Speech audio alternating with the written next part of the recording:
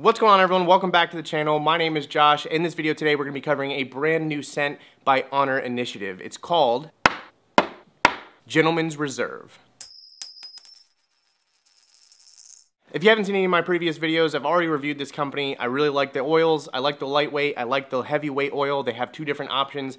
I'm also a huge fan of their butter. I think that this is their like premium style product. It just is super, super smooth and is just a phenomenal beard butter uh, when comparing them to other beard butters on the market. I'll go ahead and showcase that now since I'm talking about it. Uh, this is their beard butter. I've done plenty of videos like this before, so if you're seeing this again, I'm sorry. It's just so good to point out how incredibly smooth this butter is. Um, it feels great in my beard. It softens it. Uh, a little bit goes a long way. It's sort of like a thick custardy almost type of beard butter, um, and it just works phenomenally.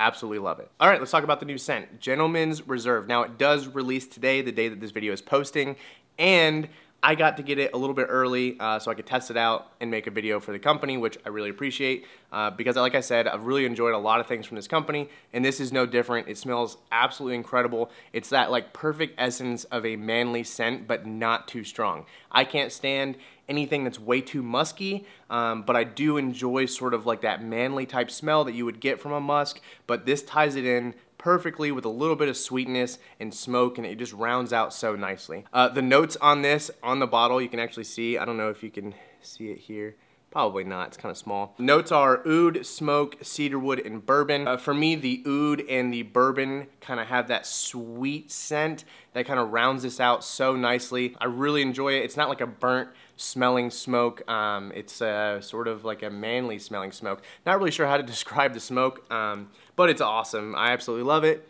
Yeah, it smells so good. Now, it doesn't smell like alcohol if that's what you're concerned about. It does have a bourbony type smell to it, but again, when you're mixing it with these other notes, uh, it comes across as sort of like this, I don't know, it's like a sweet, um, it's just, it's, it's just a really nice, sweet, round scent with that smoke. Awesome. I'm gonna go ahead and put some in um, so you guys can see here. This is the lightweight oil. Uh, let's see, yeah, it's not gonna focus on that. There you go. A um, couple drops is all I need. I've done a beard trim recently. Probably got a little too much there trying to show you guys, but yeah, just mm, absolutely love it. it. Smells so good. I did put a little bit of this in this morning, but you know, a little bit more won't hurt. Um, probably didn't put enough in this morning.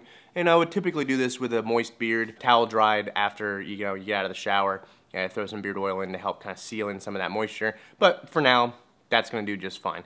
Smells incredible. All the products are handmade by Chad. Chad is the owner. Um, I believe him and his wife make them, um, and they do an awesome job with their packaging. I think I've got, yeah, they use as much biodegradable things as you can get. This is sort of what the beard butter was wrapped in. I saved it just for this video. Uh, you know, it kind of goes in here like this and it gets twisted up. I just love that the company puts in the extra effort, not only for men's health, which is super important, but also for the environment and they do a good job and they do unique things.